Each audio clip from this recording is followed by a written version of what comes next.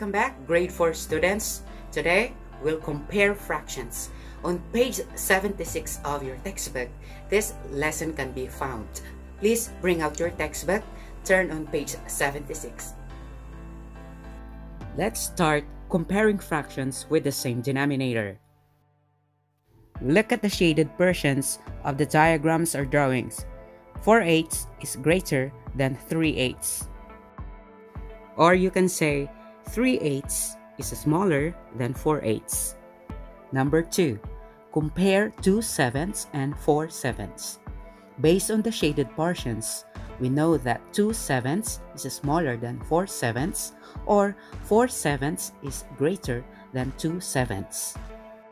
Remember, when comparing fractions with the same denominator, we need to compare only the numerators. The fraction with a greater numerator is the greater fraction. Suppose we have 5 as our denominators. 2 and 3 are our numerators respectively. Because 2 is smaller than 3, therefore 2 fifths is smaller than 3 fifths. Let's have more examples. 7 tenths is smaller than 9 tenths. 8 thirteenths is greater than 5 thirteenths. 4 ninths is greater than 2 ninths. What about comparing fractions with the same numerator? From the shaded portions, we can see that 1 third is greater than 1 sixth, and 1 sixth is smaller than 1 third. The second example, compare 2 fifths and 2 eighths. From the shaded portions, we know that 2 fifths is greater than 2 eighths, or 2 eighths is smaller than 2 fifths. You notice that when comparing two fractions with the same numerator, we need to compare only the denominators. The fraction with the smaller denominator is the greater fraction. Let's say 5 are the same numerators, and the denominators are 8 and 9 respectively. Since the denominator 8 is smaller than 9, then the fractions 5 eighths is greater than 5 ninths. Remember, the fraction with the smaller denominator is the greater fraction. More examples. 2 ninths is greater than 2 elevenths. 7 eighths is greater than 7 ninths. And 2 fifths is smaller than 2 thirds. Next is comparing fractions of different numerators and denominators. Let's compare 3 fourths and 5 eighths. In this kind of example, look at the denominators. You notice that they have different denominators. Step 1. Equalize the denominators. Let's make the denominator 4 into number 8. So, we multiply 2 to number 4. Remember, the number you multiply to the denominator should be also the number you multiply to the numerator to have an equivalent fractions. So now 3 fourths becomes 6 eighths. 3 fourths is equivalent to 6 eighths. We now go to step 2, compare the numerators, 6 and 5. 6 eighths compared to 5 eighths.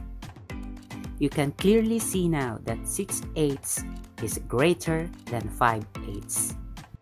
Therefore, the answer when we compare 3 fourths and 5 eighths is 3 fourths is greater than 5 eighths. Another example, compare 2 ninths and 1 third. Let's equalize the denominators by multiplying 3 thirds to 1 third. 1 third becomes 3 ninths. They are equivalent fractions. Therefore, our answer is 2 ninths is smaller than 3 ninths. Let's compare 3 eighths and 5 twelfths. To equalize the denominators, let's multiply 3 thirds to 3 eighths and 2 halves to 5 twelfths. The equivalent fraction of 3 eighths is 9 24ths. and the equivalent fractions of 5 twelfths is 10 24ths. Therefore, 9 24ths is smaller than 10 24ths, and the answer is 3 eighths is smaller than 5 twelfths. Next is how to compare a proper fraction with a mixed number. This is easier because we all know that a mixed number has a whole number, which is greater than a proper fraction. Therefore, 2 and 1 fourth is greater than 7 eighths. More examples. 1 and 4 fifths is greater than 10 elevenths. 4 sevenths is smaller than 2 and 3 fourths. 9 tenths is smaller than 6 and 4 fifths. 8 and 2 thirds is greater than 9 tenths.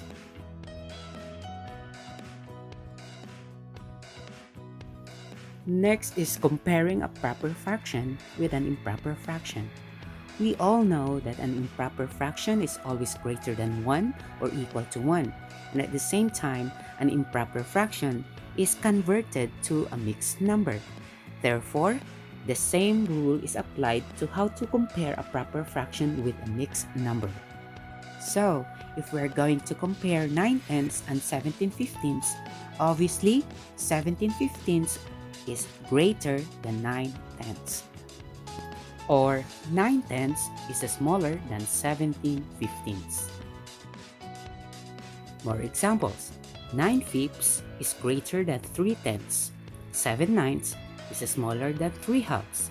1 third is smaller than 10 sevenths. 55 eighths is greater than 77 over 89. And now let's answer practice exercise number 1, letters A to N. That can be found on page 82 of your textbook. And here are the answers. Letter A, 6 sixteenths is greater than 10 sixteenths. Letter B, 4 eighths is smaller than 4 sixths. Letter C, 7 nineteenths is smaller than 10 nineteenths. Letter D, 5 eighths is greater than 5 ninths. Letter E, 11 fifteenths is smaller than 11 twelfths.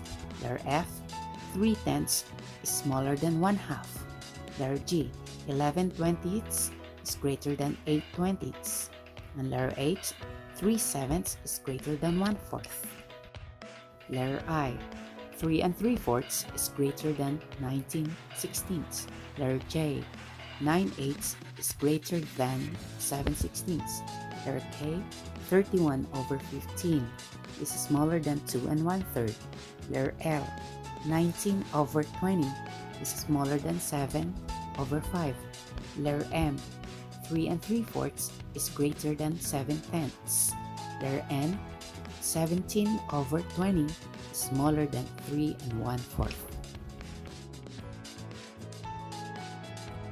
Your homework today is to answer workbook exercises found on page 67, letter G, numbers 1 to 15. So that's all for today. This is Teacher Christopher saying stay home, stay safe, and have fun in learning all your subjects online. See you again next time. Bye-bye.